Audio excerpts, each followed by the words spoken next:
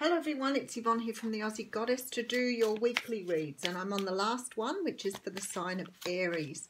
Aries, please remember these readings are only general, they may not resonate with you. Um, it's just the way it is, it's not a personal reading, it's just a general feel of what the energies are out there. Um, but I do want to say thank you for subscribing to my channel and following me. It's beautiful that you're on board with me and I'm really grateful for that. Alrighty, I am using the Modern Spellcasters Tarot um, and I will pull you a card from the Wisdom of the Oracle deck. This is lovely. So you've got here the um, Two of Cups coming out here. Now the Two of Cups is the card of soulmates. Now it's not necessarily always romantic. Sometimes it can be about uh, soulmates that are family members, friends, people you work with, but people you have a very strong bond with, people you see eye to eye with. Behind that, I do have the Eight of Wands, which of course is the card of things moving very quickly, lots of messages coming over the airways. Um, Four of Cups here. Okay, that's very interesting. Uh, nine of Cups. Okay, somebody's trying to make some sort of offer here. Something that, that is a wish come true, but somebody is not interested in what they have to offer. So even though they're opening up and I feel like they believe this person is their soulmate, the other person isn't reciprocating. Um, they are not wanting to take the same way. So you could be making um, you could be making an offer to someone else or someone could be making an offer to you, but for some unknown reason the offer isn't hitting the right space, the right time, the right shape, I'm not sure, but it's not exactly what you want. The thing is, the Nine of Cups is there, which says to me, perhaps you're just not looking at it in the right way. So let's have a good look. So we have the Nine of Swords coming out first, and the Nine of Swords talks of sleepless nights, stress, anxiety, tension, um, being overwhelmed by your thinking. Okay, and then we have the Empress. So you could be um, you could be overthinking some sort of situation where someone has either you've missed out an op opportunity at this time or something wasn't in the right place for you to accept this opportunity. The Empress is the card of like someone who is extremely ready to move forward in love, but it also can be someone who wants to um, birth something new, is ready to bring something new into the world. And I feel like somehow or another you've missed some sort of opportunity with this person. Could be you've been dealing with a Gemini, Libra or Aquarius here. Um, and there's the lovers as well. So this is definitely about love.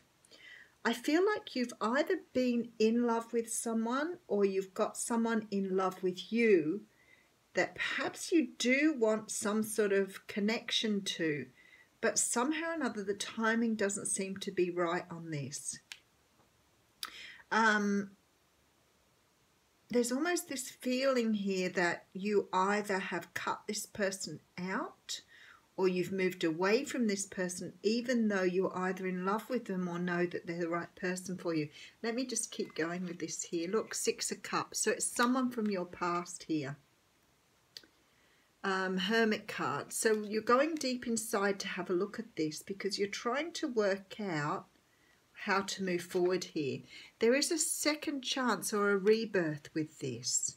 So if you feel you've missed out on it before, it's going to come round for you again. And it's going to bring you a lot of happiness here with this Ten of Cups. Um, okay, Three of Cups coming in here which could be about celebration, but I'm always reluctant to jump at that in case it's third party. We do have the magician here. Okay. I feel like perhaps this person came around to you when you were in another relationship or came around, maybe you met this person when you were in a relationship, but now you've moved away from some sort of commitment here you've moved, you moved away, and now you want something with this person. That's what it looks like here. So a soulmate coming in to make an, yeah, there was an offer made in the past, but I feel for some reason, even though this offer made you very happy, there was some reason you couldn't accept this offer at the time. Um, with the magician here, I'm thinking perhaps the offer didn't come when you were able to accept with the Three of Cups. So you may have met this person when you were in a relationship, you may have been married, um, for whatever reason, you were really extremely disappointed here um, that you couldn't accept this offer because you saw this person as being like amazing, beautiful, like a goddess and you weren't able to accept because I think you were in a different situation and, and it just wasn't the right thing to do. So you've sort of moved away from it. But there seems to have been this feeling that you regretted that decision. And I feel like something's happened now where you've either walked away from the relationship you were in or that relationship has broken down. You've closed out something here. And you now have the magician, which means that you are open to new offers. Um, and it looks to me like you're going to go after this offer now because you're being given a second chance here with someone from your past. Um, so it could have been that you were tied to someone else and now you're in the position to offer that person something here. You're, you're trying to manifest something back in from your past here to make the offer.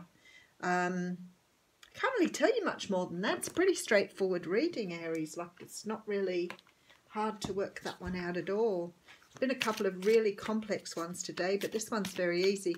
This person is, it could be a twin flame here because I've got like the Six of Cups, the Two of Cups, and the Lover's card, and the Empress.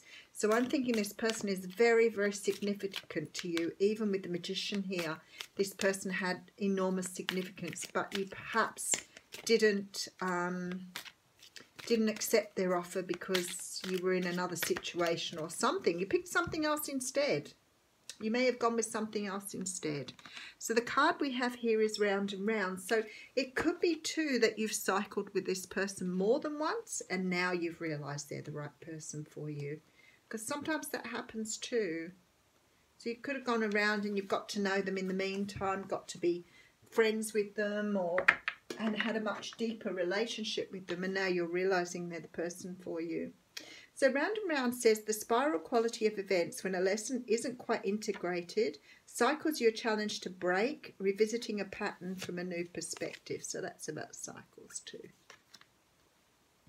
Okay, so the Oracle's message. The appearance of this card is a reminder that although it may appear that you've gone backward, the truth is that you are standing at a higher level looking down into your circumstances. You will learn something, do something better, and break a cycle set up in the past. You actually have a bird's eye view of your initial footprints and can access the wisdom and lessons learned. Now, what I want to do is I want to read the relationship message too. Are you wondering, how did I get here again? Does something feel familiar right now in your dynamics with others? Maybe a little too familiar. Don't be surprised that you found yourself repeating an old story with the same sort of person who may not look similar but attracted you because of your easy acquaintance with his or her qualities. Your relationship is a mix of what is good and what is potentially challenging. You have been drawn to this person through the perfection of Spirit's plans for your evolution.